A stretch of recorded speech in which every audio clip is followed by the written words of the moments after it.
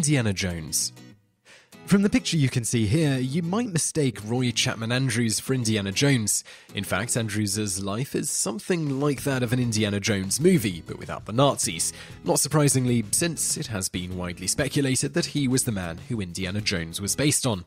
Although no one associated with the movies has officially confirmed this, and it's thought by many that the link is indirect, with Andrews providing the model for many portrayals of adventurers in the 1940s and 1950s movies, which in turn influenced Lucas in his creation of the character of Indiana Jones. Born in 1884 in Beloit, Wisconsin, Andrews' fascination with the natural world started at a young age.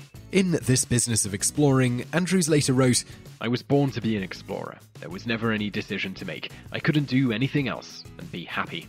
He spent his childhood roaming the wilds of Wisconsin, exploring everything from the woods to the waterways. He developed skills as a marksman and as a taxidermist, and used the money he earned from the latter hobby to fund his education at Beloit College. He started off his career at the American Museum of Natural History in New York City as a janitor. Not exactly glamorous, right? But while he was sweeping the floors of the taxidermy department, he brought in specimens to display.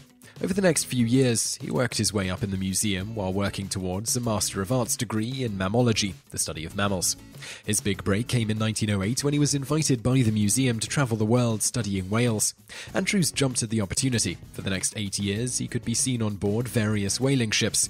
He circled the globe twice while on this particular adventure, particularly being interested in finding beaked whales, but they eluded him in the wild. Funny enough, he found a beaked whale skeleton in the Natural History Museum's collections later and was able to name it Mesoplodon bowdoini after the man who funded the whale trip.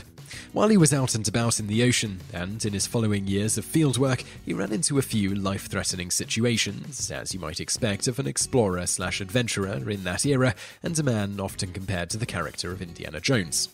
Writing in On the Trail of Ancient Man, Andrews shrugged off his brushes with death. In my first 15 years of fieldwork, I can remember just 10 times when I had really narrow escapes from death. Two were from drowning in typhoons, one was from when our boat was charged by a wounded whale, once my wife and I were nearly eaten by wild dogs, once when we were in great danger from fanatical Lama priests, two were close calls when I fell over cliffs, once was nearly caught by a huge python, and twice I might have been killed by bandits. But it wasn't whales that made Andrews famous worldwide, it was a trip to the Gobi Desert that did that. In 1922, Andrews carried out his first expedition into the harsh Gobi Desert. The main goals were to chart the area and bring back fossils and live creatures, and perhaps prove the museum director's theory that all life stems from Central Asia. On the expedition, Andrews employed the use of camels and automobiles to trek across the desert, an odd combination, and the use of automobiles in the desert got him called a fool, but in the end it worked.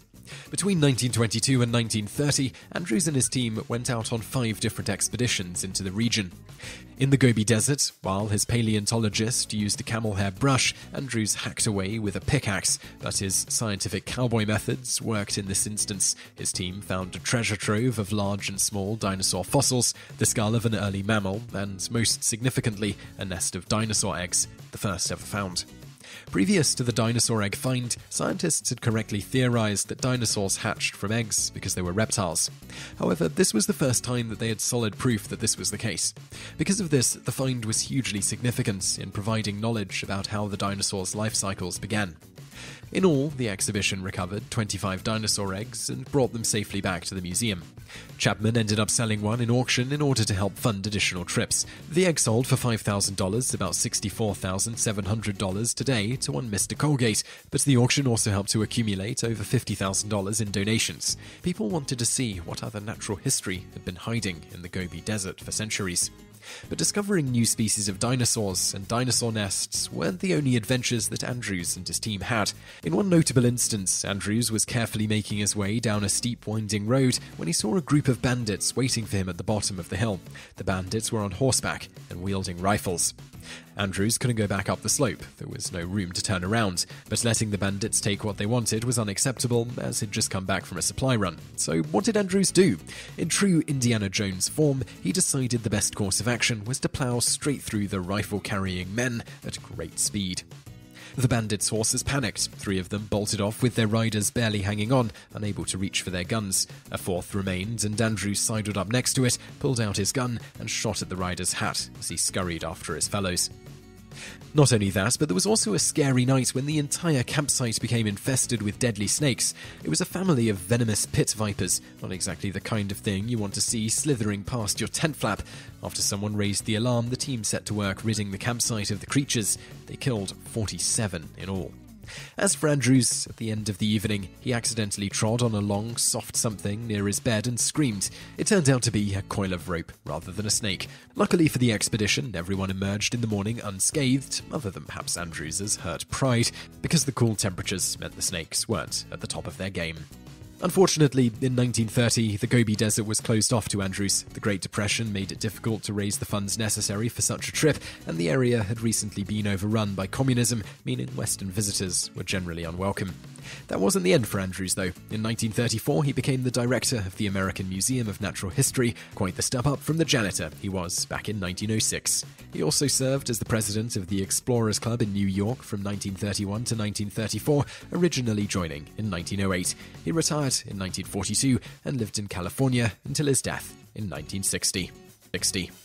So I really hope you liked that video, and if you did like it, click like below and leave us a comment to let us know what you think. And also check out a couple of our other videos, which are linked to on the screen now, and don't forget to subscribe for brand new videos every day. Thanks for watching.